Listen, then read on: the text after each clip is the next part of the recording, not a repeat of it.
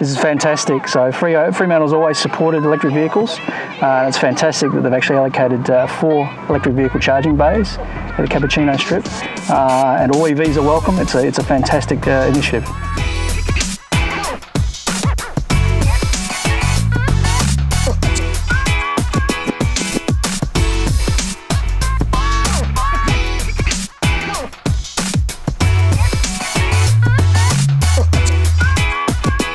Great things about these is that they're a pretty fast charge, um, and they're the 22 kilowatt charge, so you get a pretty pretty fast charge, but it gets that balance right. People still got to you know go in, have a coffee, make the most of town, do some shopping, come back up, um, come back out and grab their car. These charging stations are the cream of, the, of on, on, the cake of what's probably the most sustainable car park uh, around, um, and um, with the solar lighting, reused asphalt that's been recycled, um, sustainable drainage, native trees but certainly having electric car charging points is a really important part of it. Most people charge at home overnight, but for, uh, for uh, doing errands, uh, these charging spots are fantastic.